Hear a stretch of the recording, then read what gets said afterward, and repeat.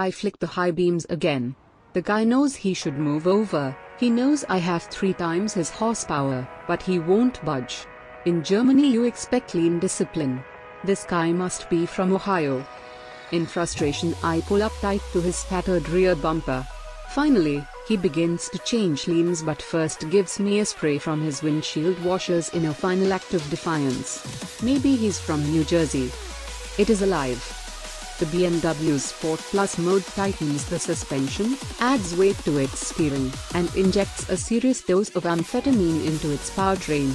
I engage it now and the throttle becomes hypersensitive, while the ZF 8-speed automatic transmission, which has been tuned more aggressively for this application, pulls gears longer and shifts harder. Now the car feels alive. With far more force than is required, I introduce the M550i's throttle pedal to its carpet. The automatic quickly drops to 4th gear and the twin-turbo 4.4-liter unleashes serious thrust along with a proper V8 soundtrack. To deliver more raucous noises in Sport Plus, as well as in Sport and DSC off modes, the M Sport exhaust system that's specific to this model includes a butterfly valve, and opening the pipe sounds good, throaty with a nice burble but it's not obnoxious and thankfully lacks the trendy manufactured pops and bangs on the overruns. We're looking at you, Jaguar and Mercedes, and